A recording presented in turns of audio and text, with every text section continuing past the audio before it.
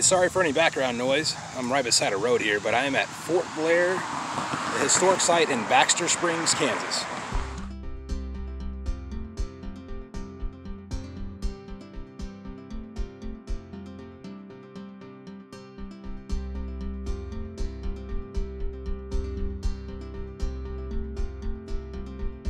So we're standing in the remnants of Fort Blair. You can see some of the old, I guess, replicated breastworks of it.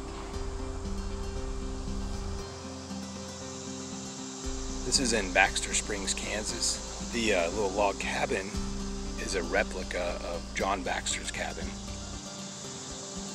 It's really small little area in the middle of a neighborhood. Um, but it is cool that they've got this historic site here for you to visit.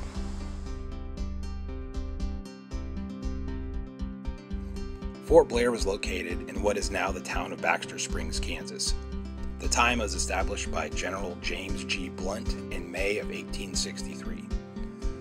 On October 6th of 1863, William Clarke Quantrill's raiders attacked the fort and ended up killing more than 100 Union soldiers. The Union troops withdrew to Fort Scott and they burned Fort Blair to the ground in their wake.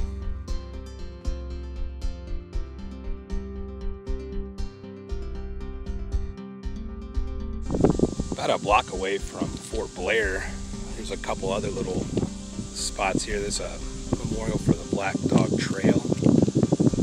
Over to the side of it, it's a little section of old historical bridge. It said it was the last bridge of that material made in Cherokee County. And over here, you've got an actual M60 45 ton tank that was donated to the city of Baxter Springs.